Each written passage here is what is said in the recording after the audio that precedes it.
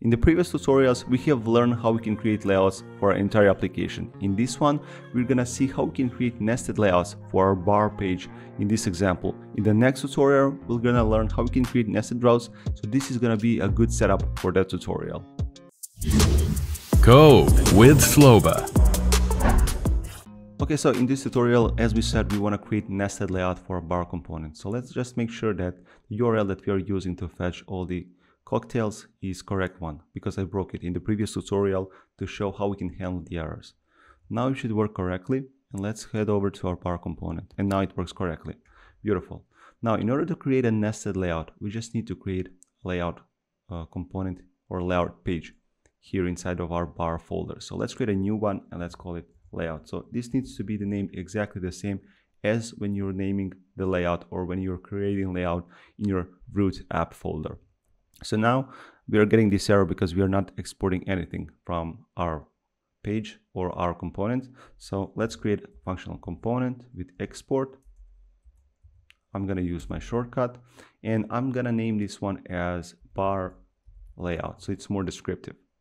Uh, what is important to know is if we don't return anything or actually if we don't return children, you're going to get this bar layout. And just, as you can see from the page, we're returning this bar div. So we want to get this bar div and surrounding that bar div is going to be the layout that is going to be presented for all the nested routes inside of our bar page. So now let's remove this bar and we want to return here children as I said. Without that, it's not gonna render nested routes or the page itself.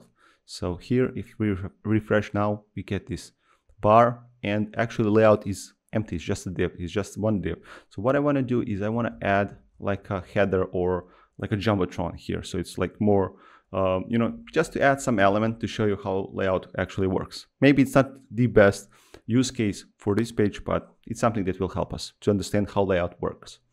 So let's create, and I'm gonna use Daisy to create an element here. Let's just create a new div and let's add a class name of hello, or actually of hero like so. And inside of this div, I want to add another div and let's add another class name of hero-content. And here we're going to have um, an image, a text, and a button. So let's add the first image, and this is going to be an image of a bar. So I just copied over some image from Google, and I'm just going to paste that. You can use whatever image you want. So instead of children, I want to use this image and below this I want to add another div. And here I would just want to add some text. So let's add h1 text and let's say here welcome to our bar like a welcoming text. Below that we're going to add some description. So something like feel free to order as many drinks as you like. Drinks as you like. It's not like that I'm suggesting for you guys to drink but yeah. And let's add a button where it's gonna say let's get some. Okay cool. Now let's save this. And we get this uh, like jumbotron but let's apply some daisy ui classes so it's much nicer. Uh, so let's for the hero let's add min height screen which is gonna make this uh, minimum height is gonna be the screen height. It's gonna make it larger and let's add some background here. As you can see here okay? And bg base dash 200 and this is gonna make our background a gray as, as you can see here.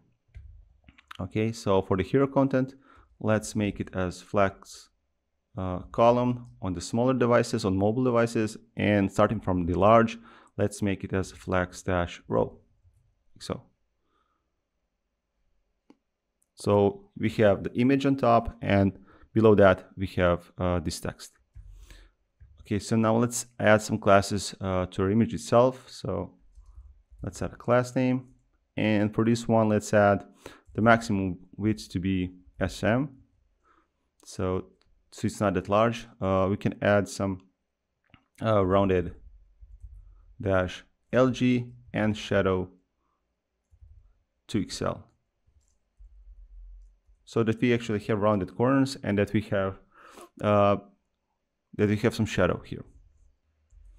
And since our image actually is overflowing the boundaries of the hero component that we have, let's make, let's make it max width as full.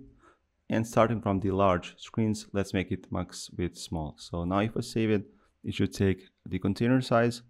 And if you try to make it full screen, then it's uh, laid out next to each other the row. Okay, beautiful. Now let's add some styles uh, to our text. So for the title, let's add a class name to increase the font size and let's add text 5XL.